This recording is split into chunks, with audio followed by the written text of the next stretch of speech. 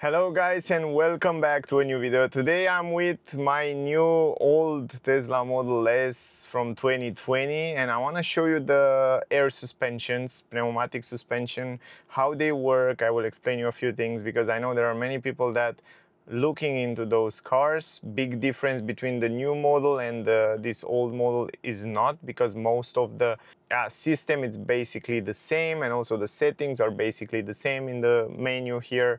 So it's good to show you because you know what to expect. Before I brought this old uh, Model S, I was also looking online for different videos for different things, including those air suspension and how they work, how we can adapt them, and so on. And in this video, I want to explain you, I want to show you how it works, so you can get some useful information at the end of this video. If you want to find out more about this car, I have a separate video on my channel, definitely check it out. Now, let me turn around the camera. Uh, we are in a parking lot, and first of all, very important, in order to adjust the air suspension from Tesla Model S, all you have to do is just go here to the suspensions in the menu. It's very simple. Uh, it has his own, yeah, uh, area, his own menu for the suspension and immediately you can see uh, this car with the graphic of the suspensions and you can also basically choose to have it here on the screen uh, while you're driving so it shows you uh, let me go to the suspension. Where is it? Here. Suspensions. It shows you in real time what happened with suspensions because it has this uh, adaptive suspension in real time. And not only that it is on the air so the yeah the the springs are on air but also the damping system it's electrically. So it's uh, electrically adjustable in real time so it can adjust the compression and rebound in real time. What that's supposed to mean you see in real time how the suspension will perform when you go over the bumps. So it's very smart stuff you can see it there on the screen but you can see it also here on the media on the multimedia screen. So the cool part is that you can switch between different ride height here you can get a little bit more information. So it tells you that high and very high will rise the vehicle temporarily. So that's something to keep in mind. So it's just temporarily. It will automatically lower after a short distance, enabling persist until through the gear icon button will hold the height until a speed threshold is met. So I will show you in a second that. Selecting high and very high will automatically save the location and type of rise. Uh, you can remove the save location to prevent the vehicle from rising automatically upon returning to the location manually or by selecting the right height of um, medium or lower. You can also remove it. I will show you that as well as, for example, what it's supposed to mean. For example, we have to go out of here and there it's a big bump what we have to do is when you get close to the big bump, then you select, for example, very high, and then the car will rise to very high.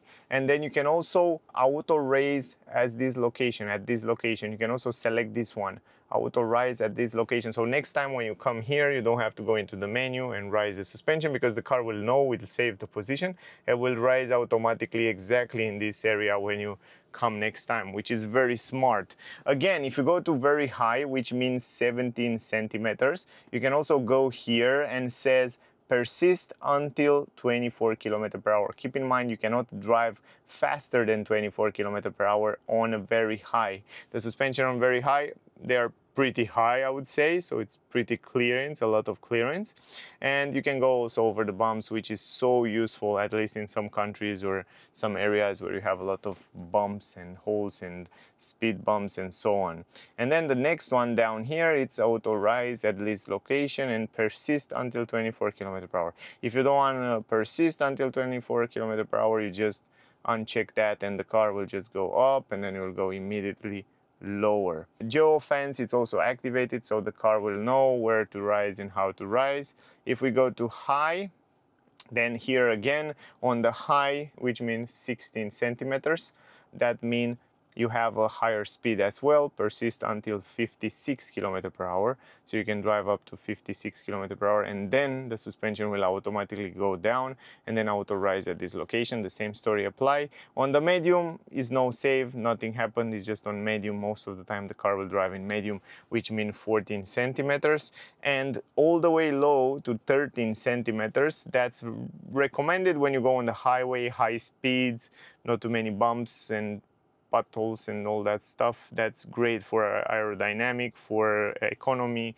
You will get a much better range if you drive on low. That's why it's also say here default to ride high to low. If you want to do that, if you live in a country where yeah you have perfect roads uh, like Switzerland, for example, and even in Germany in some areas, and you can go all the way low and then you just drive because you're improving the aerodynamic and the, the consumption of the car. But yeah, it's not the case here. Also, you can check this mark, use comfort damping in autopilot, because a little bit higher, you have some settings. We will talk about them in a second. So keep in mind, first of all, lower 13, medium 14, 16 high and very high 17 centimeters which is great some SUVs or crossover maybe yeah more like uh, they have 17 centimeters as well. Then we go a little bit lower, also in real time it shows you what happened with suspension, but you can see even more details. If you go show suspension data, you can see right here, front left, front right, rear left, rear right,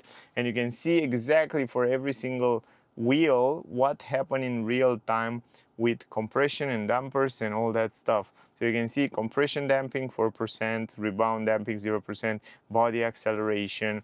You can see the ride height, you can see the compression on damping. So if for example we go now all the way high, probably it's, you can see some infos. No, I guess it's only when you're driving you can see some infos around here.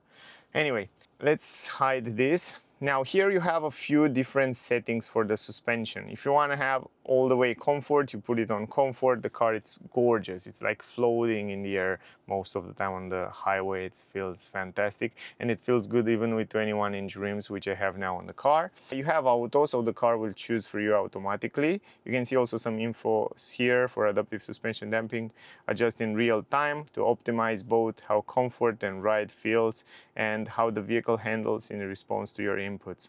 All modes continually adapt to changing conditions regarding of which mode you choose. Comfort provide a gentle ride for a relaxed driving experience. Auto adjust to a wide range of driving style and roads to provide a balanced ride and a fluid yet control, uh, well controlled. Uh, sporty provide a firmer, more controlled ride than increasing drive engagement and connection to the road. Advanced uh, allow you to customize ride comfort and vehicle handling independently. So you want a comfort, you put it here, but also keep in mind the car will still adapt depending on the road. Auto, the car will choose for you automatically. Sport, a little bit firmer.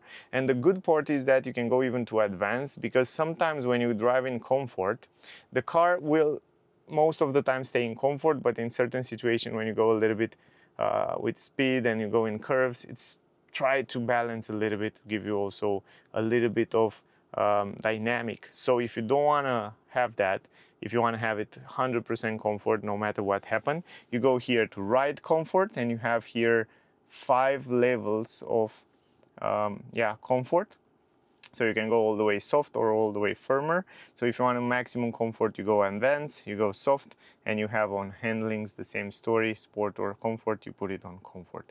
And then you have that booty feeling, super comfortable car which I really, really enjoy.